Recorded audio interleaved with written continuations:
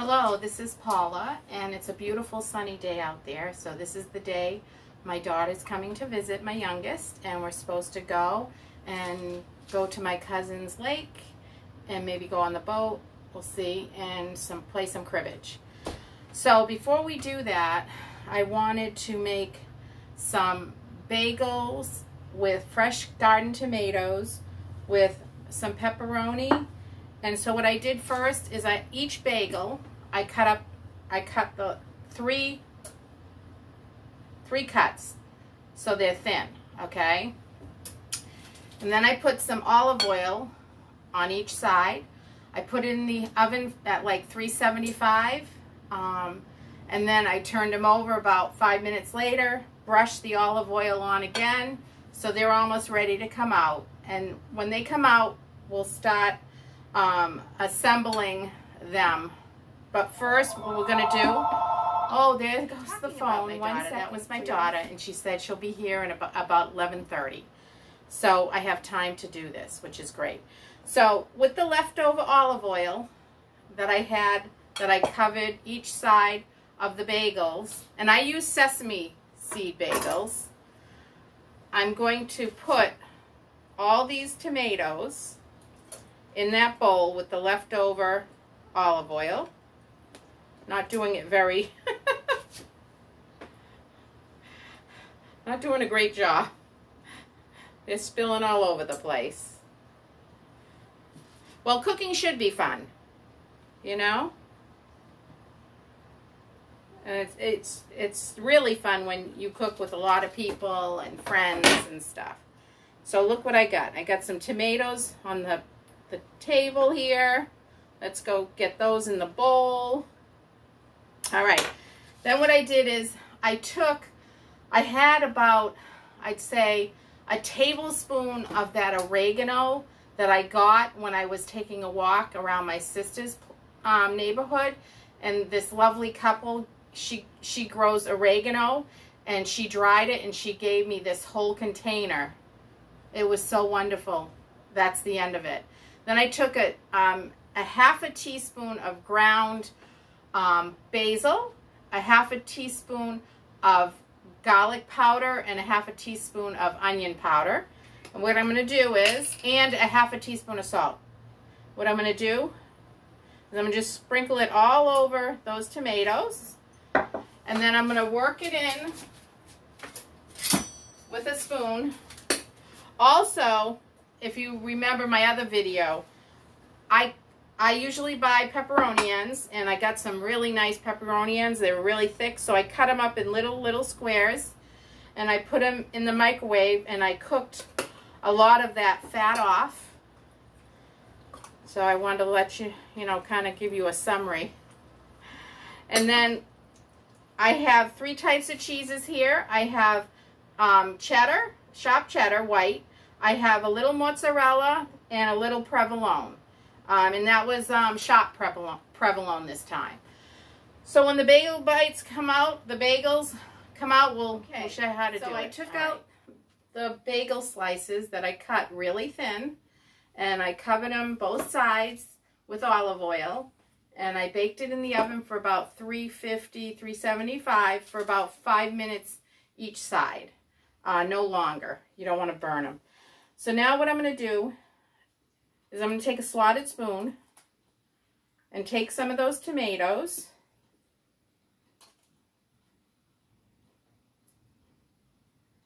and we're going to put it on the bagel.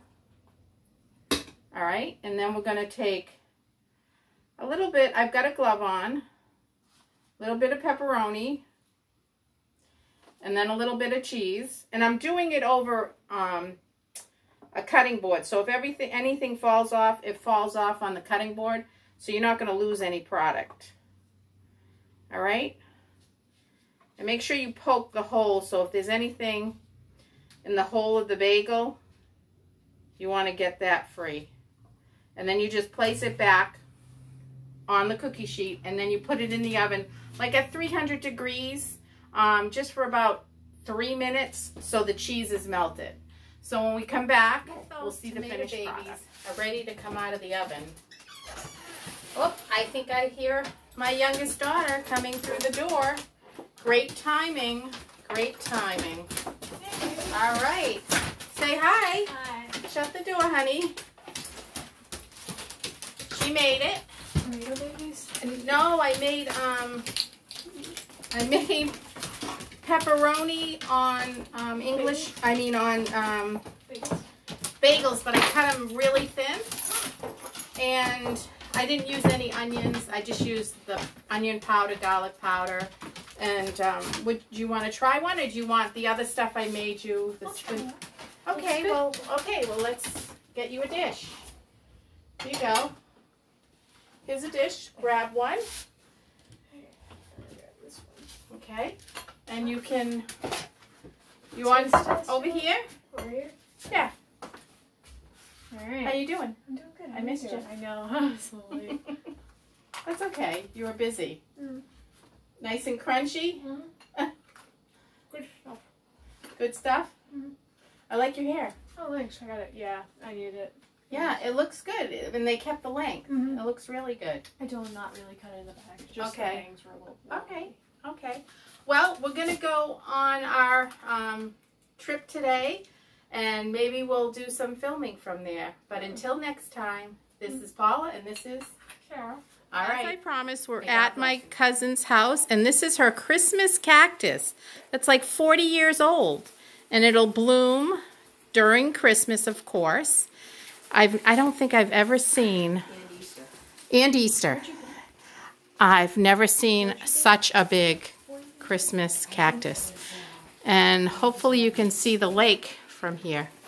It's beautiful. So hopefully we're going to go on a boat ride, and. Uh, These are called We'll lake bugs. They come out at night and they try to get in the screen, and they don't last long. They die. So the people that have um, lake houses, they have to take a brush and they have to brush their screens, their windows, and then they have to open up their windows and get all these out. I call them lake bugs. I don't know what they're really. Jean calls them lake bugs, bugs, but she doesn't know the correct name. But I, I think Here that lake are, bugs is good enough. Last, There's a duck in the lake. last Sunday, Isn't this a beautiful lake?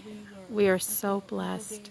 God's creation. we were out there just sitting around. Oh, it's so nice. The wind kicked up and the storm was like really, really Just wanted to share this with you. What were you saying, So Sarah? you like the wind chimes? Yeah, I like them. My cousin has lots of wind oh, I like chimes. How they put like vegetable or like plants hanging from the side there. Yeah, I wonder how they did that. Just like drilled it. I don't know. You'll have to ask him. Who was that? Kevin O'Connor? Sarah, how are uh, uh, your cousin Jeannie's cherry babies? Very good. Yeah, they are good. Dude. Good amount of oil on both sides of the bread. Yeah. Well, good. All right. Do you see it? Oh, did you see it for a minute, people? Oh, it was so beautiful. Let's see if it'll come back for the nectar. It's a beautiful day. It was cloudy, but now the clouds are gone. Very few behind me and to my left. Um, and there goes Jean. Jean's got the noodles and different things so we can jump off the boat when we go to the swimming hole.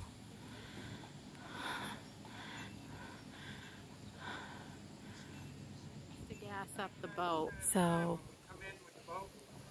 The blowing this way. so he has to move the boat on the opposite side because that's where the gas tank is. And we need to gas up the uh, boat so we can have a boat ride and then go swimming.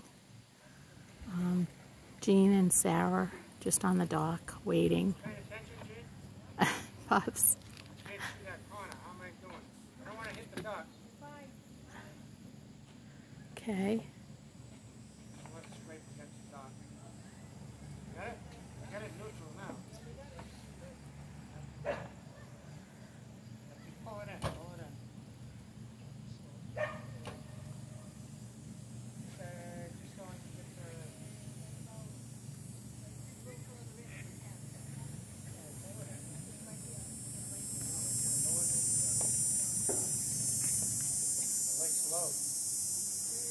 The lake's low. The lake is low. We, that means we need rain. We want to praise the Lord for rain the other day. We got a little bit. Um, it's a gorgeous day. I that's what I'm talking about. Hey, Oh, oh, oh. are you enjoying this? I'm just going in the garage. We got some ducks on the dock. Uh, there's some little duckies in the water here. Let's see if we can get a little close and we'll show you some ducks in the water.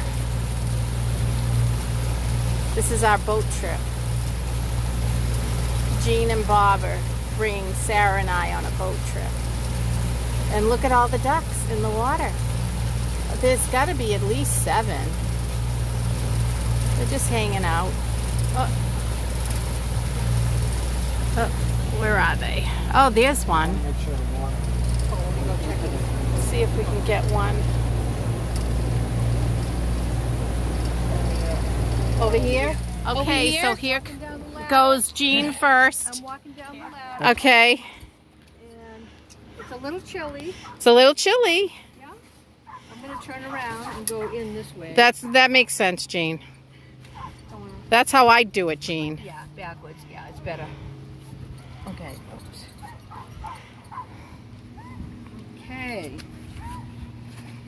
Okay, there it The goes. bottom step, so I gotta. Oh I'm boy. Sit on that first, Yeah. Uh, and then. Go, go. Just do it. Oh, Jean! Oh, there she goes. She's off. She's off. Now here goes Sarah. Uh, Let's see what Sarah's gonna do. Probably gonna follow Jean's. Once you get in, it'll be okay. Yeah. Follow Jean's lead. Yeah. Oh, it's a little chilly. We'll be all right. We're gonna be Oh, Sarah, how are you? good. It'll be. Jean? Okay, Bob. Can I uh, get you on video? Get me on video? Yeah, he's the captain of the ship. Oh, He got us here safe. He's the gardener, the captain of the ship. Right. Okay. Sarah, let me see those Grandma Mary's sunglasses. Put them on. They're beautiful. She's borrowing them. Yeah. So. Oh, there's Jean. Hey, I'm supposed to be taking your picture. Oh, you are? Yeah. Come close. There's the captain. He's making sure everything's okay. Captain Bob. Just pull the anchor. There he did, he pulled the anchor. He's ready to get into his captain's chair.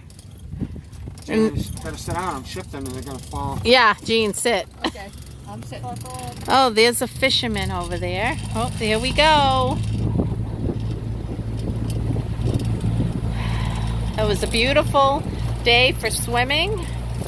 And we got a fisherman over there. See if you can see him. Now we're going to look at the eagle's nest. Okay. We're going to go look at the eagle's nest. See one of the youngsters fly over, so it's probably not in the nest. Or near the nest. Okay, sounds good. Oh, at the end of uh, that inauguration last night, Yeah. uh, they had a, uh, a singer, Christopher Macchio. It was, I'm not sure if I pronounced Sounds it it right. sounds Italian. Yeah, M-A-C-C-H-I-O. Yeah, Italian.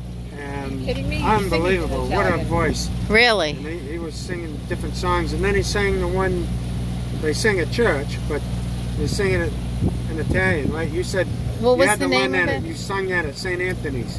Uh, I think it was the Hail Mary in Italian. We used to sing it in grammar school. Ave Maria? Yes. Yep. We, we used to sing. Yeah, we used to sing that. in- I don't know. I don't would. it, I don't No. think it was that tune. Another one. Well, that was a lifetime ago, huh, Jean? Oh yeah. well, I'm trying to remember now.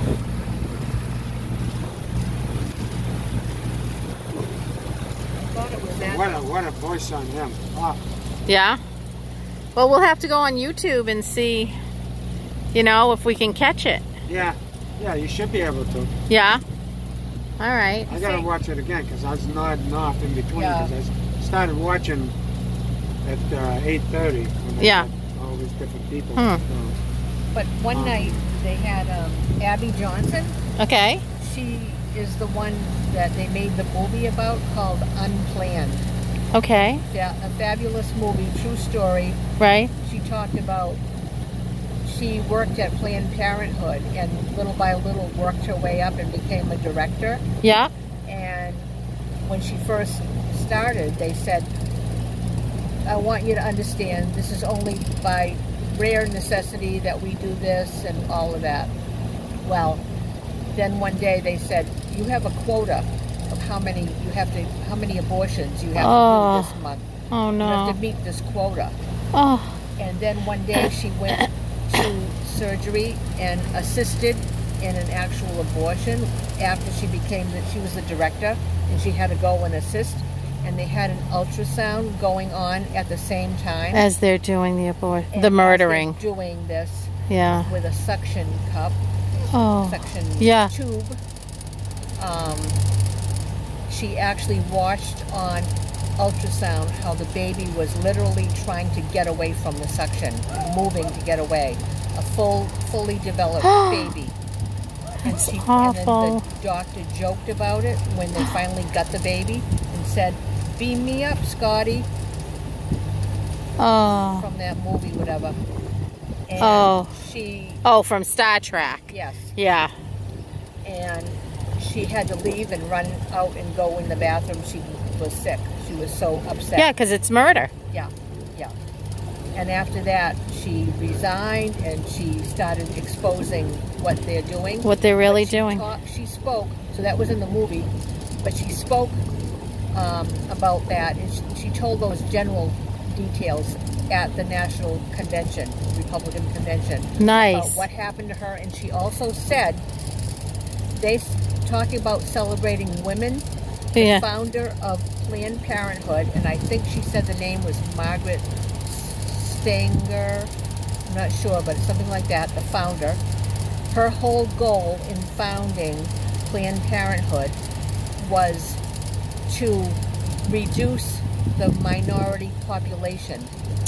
So she set up these Planned Parenthood clinics in poor neighborhoods, Oh. predominantly black oh, or That's and awful. Hispanic and people of color.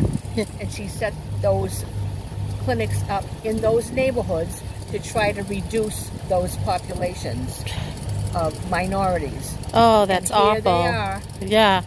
putting her up on a pedestal. Oh, so and- wrong. yeah, So wrong. Mm-hmm. but that was that was very very moving when she told that story. And Yeah. the, to see the movie, if you haven't seen it, No, I haven't. I'm gonna have to. Unplanned. See, Unplanned. See, see the movie. Okay. It's the whole true story of what happened to her. Yeah. Yeah. Yeah. Wow. Well, ha- you have it here now. You know, you've heard it, people. Yeah.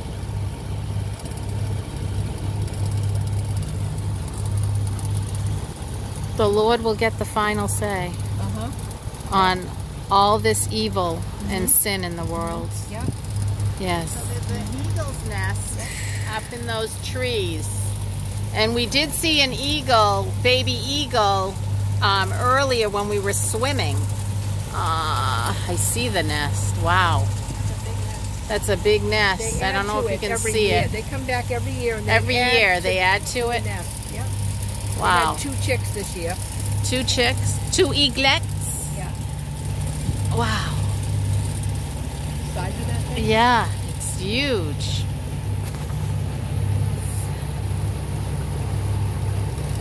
Wow. And I prayed for the two And and, Pair of Queens for two. and his um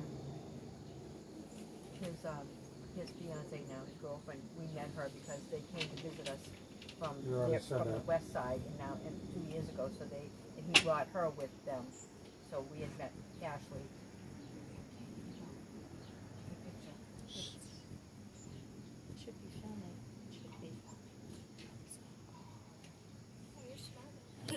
So Bob's in the garden and he's gonna pick some vegetables for Sarah and I.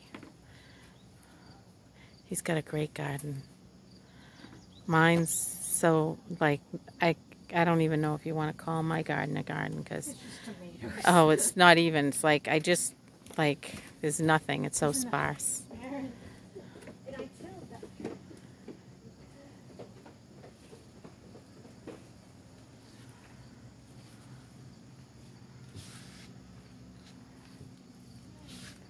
And here goes comes Sarah. She's going in the garden.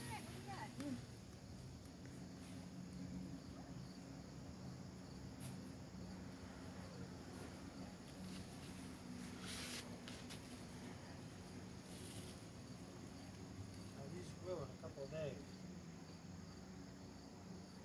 It's starting to slow down now.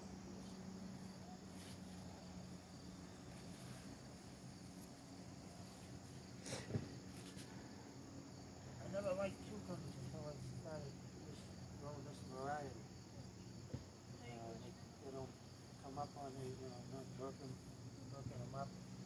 Uh, He likes zucchini too, don't you? Huh? Lot of tomatoes? Yeah. Okay. My mom likes Summer squash?